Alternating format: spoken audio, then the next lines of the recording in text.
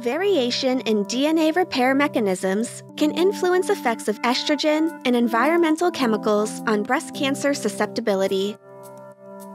All women are exposed to estrogen from puberty through menopause. Estrogen is a natural hormone that is important for breast development and the maintenance of tissues in women, but is also linked to an increased risk of breast cancer. As many as 1 in 8 women in the USA will be diagnosed with breast cancer over their lifetime, and the majority of these breast cancers are sensitive to estrogen. Dr. Joseph Jerry and his collaborators at the University of Massachusetts in the USA are studying the environmental exposures and genetic differences that alter the consequences of exposure to estrogens. Dr. Jerry and his colleagues have worked extensively on the hypothesis that environmental chemicals mimicking the effects of estrogen exacerbate or prolong the damaging effects of estrogen in women who are sensitive.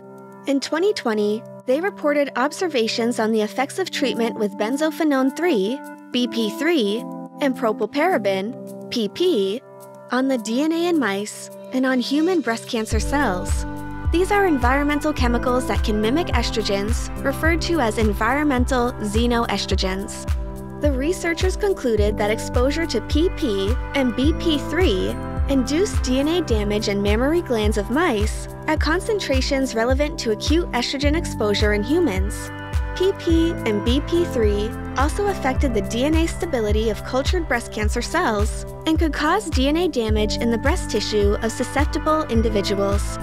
Although all women are exposed to endogenous and environmental sources of estrogen, remember that 7 in 8 do not go on to develop breast cancer. Furthermore, there are reports that estrogen may have a protective effect against breast cancer, for some women at least.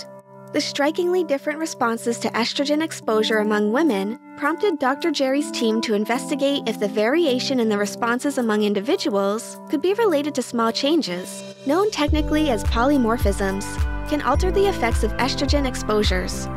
The team first compared strains of rodents that differ in specific genetic polymorphisms and susceptibility to mammary tumors.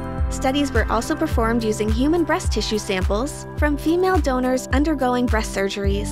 The results confirmed that responses to estrogen exposure are highly variable among individuals, consistent with the results in rodents.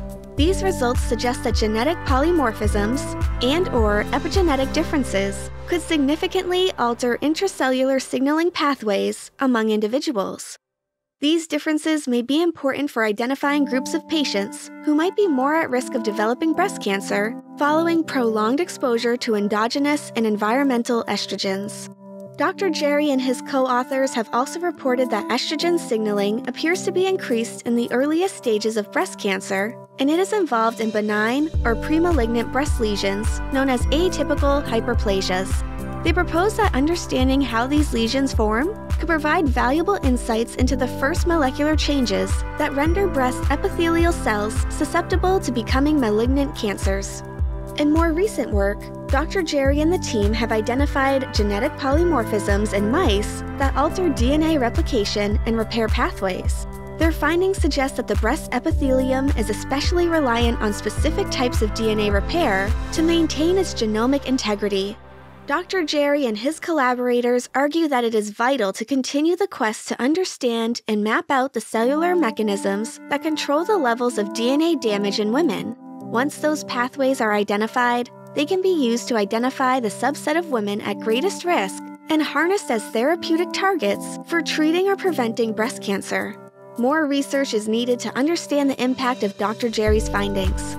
Most critically, we need to better elucidate the health risks posed by chemicals in personal care products and identify individuals for whom the chemicals pose a significant hazard.